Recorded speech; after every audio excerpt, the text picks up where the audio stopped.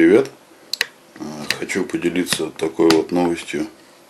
Приобрел универсальный фрезерный станок. Да, смотрится он достаточно дико в такой моей небольшой комнатушке, но все же что есть, то есть. Значит, это НГФ 110 ША-3 в полной комплектации с верхней фрезерной головкой, даже тесочки родные – вот, значит, э, планирую сделать так. Видео будет разбито на несколько частей. Вот, и в каждой части буду подробно обговаривать э, какие-то моменты моих доработок, того, что я вносил, какие изменения в него. Вот. Но для начала сразу скажу то, что станок был изначально покрашен. Э, наверное, выложу фотки выложу фотографии, отвлекают от меня, выложу фотографии, какой он был э, в изначальном виде. Вот. Станочек покрасил я, практически полностью перебрал, за исключением коробки. Ну, коробку проверил, вроде бы как лифтов нету, все крутится четко, без биений. Вот. Э, верхнюю фрезерную головку перебирал до меня продавец, заверял, что там три подшипника он заменил, в остальном вроде как все в норме. Но на биение я проверял при покупке.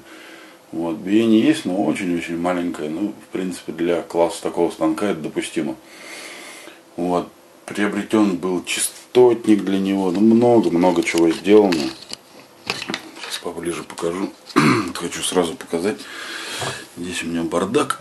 Вот лежит хобот от него с серьгой.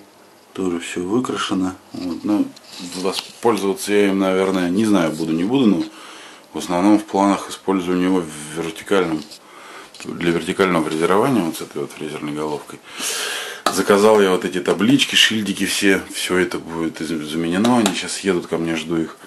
Вот, в общем, э, тесочки, ну, получается, что покрашен был станок, то есть станина, станина, вот эта вот колонна, а, ну и все, в принципе. Были ободраны а, от старой краски продавцом, еще у кого, тем человеком, у кого я покупал.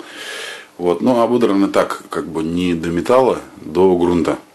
Вот, ну, в общем, немножко я там добавил своей деятельности чуть-чуть доободрал, где мог, вот, ну и в принципе покрасил.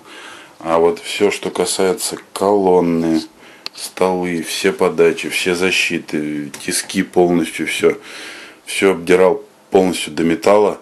Вот, никакого грунта ничего не оставлял. Вот, в общем, все это обдирал, все красилось заново с нуля на металл. Вот, красочку такую неплохую подобрал. А, ну, много говорить, тут можно надолго видео снимать, но просто хочу разбить, чтобы было поподробнее, чтобы не напряжно было смотреть. Вот здесь менял вот этот винт, вот этот узел, чтобы стол опускался до конца. Тоже отдельное видео будет. Вот, частотник приобрел для него. Вот, но по частотнику не знаю я, что по нему снимать. Ну, как мини-обзорчика такого сделаю, что он может, как он работает. Вот, а так, вот, в общем, сюда табличка будет. Тоже заказал, едет она. Вот, вот цанговый патрон новый заказал. Короче говоря, переделок и всяких доделок очень много. Вот такой вот красавец получился. Сейчас вот хочу делаю, вот занимаюсь из детских пеленок, блин. Делаю защиту чтобы экран был направляющих подвижный. Вот, тоже доделаю, уже тоже буду отдельно снимать. Вот, а так все крутится, все, все, все подачи работают. Вот, везде, в принципе, все нормально по люфтам. Единственное, вот в этой подаче, вот в поперечной, не хватает зажима клина. Вот, то есть, видимо, либо клин не родной, либо износ. Ну, на износ не похоже, потому что в основном все направляющие в норме. Вот, крутится достаточно легко все. Подъем, пускание.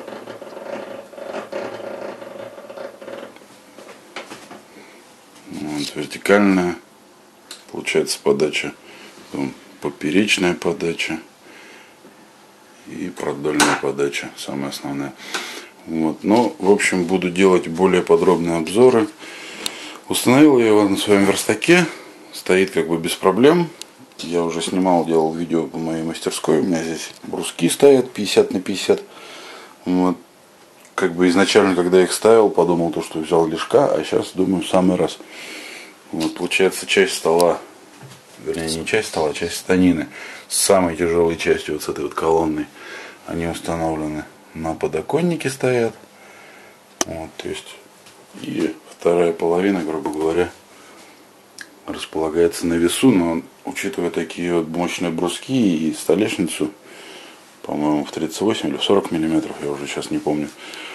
Вот, устанавливаем все без проблем. Сам залазил на этот стол, вот, устанавливал целиком вот эту консоль в сборе, там, я уж не знаю, сколько она килограмм, 40, наверное, весит. Сам станок без верхней фрезерной головки весит, ну, по крайней мере, по паспорту 200 килограмм. Вот верхняя фрезерная головка плюс еще 18 килограмм. Вот, ну, 200, наверное, без тисков, несмотря на то, что они малюсенькие такие, они достаточно тяжелые. Тоже, ну, килограмм 8, наверное, они весят. Тисочки. Тисочки поворотные. Вот. Тисочки родные, они шли в комплекте с МГФ. Такой вот комплект мне достался. Полностью комплектный станок получается. Ну, плюс фрезерная головка, она как бы вроде как не идет в комплекте, но за ней народ охотится очень-очень бывает долго и задорого ее покупают. Там цены у нее в сравнении, ну как, как сам станок, примерно за ту же цену ее можно отдельно найти. Вот, а я нашел станочек за энную сумму, вот, не буду озвучивать, неважно это, но уже в комплекте. Вот, сумма приличная, но за такой комплект вполне таки достойна. Вот, ну, вроде бы как все. Вот. Видео долго не было, все свободное время уходило на станок вот за последние дни. Все восстанавливал, все это вечерами после работы занимался. Вот. И как бы на что-то, что-то снять, что-то показать вообще времени не хватало. Но сейчас станок на 90% уже в рабочем состоянии. Ну, вернее, он уже как в рабочем состоянии, но есть еще задумки, есть что-то делать. Вот, ну, на 90% э, все, что я задумывал, я уже сделал. Вот остались мелочи. Вот, ну и в принципе можно будет уже работать. Буду показывать свои работы, что на нем получилось сделать. Уже тут есть у меня заказик один очень интересный. Ну, никак не заказик, даже друг попросил. Изобретает он одну штуку такую классную. Вот. Короче говоря, основная работа там у меня будет как раз по фрезеровке. Как получится, если эта штука, обязательно выложу. Это касается ножевой темы. Вот. Будет очень-очень интересный обзор. Ну, я надеюсь, что все получится, все нормально будет. Вот, будет у меня такой первый очень-очень сложный опыт вот, в фрезеровании. Будем надеяться, что все пройдет нормально. Вот такой станочек. Вот, хотел поделиться, показать. Коробка передач у него здесь. Получается 6 передач, 3 скорости и ну, можно ее назвать пониженная, повышенная. Такой вот стеклышко сделал. Вот. Ну, в общем, все об этом, обо всем я расскажу поподробнее в отдельных частях видео. Вот. Э, видео буду потихонечку, я надеюсь, что сейчас побыстрее все сделаю, доделаю. И потихонечку буду выкладывать. Будет, наверное, интересно. Надеюсь, по крайней мере, на это. Вот. Ну все, пока что все на этом. Всем спасибо, всем пока. Вот. По мере каких-то продвижений буду отчитываться. Все, всем пока.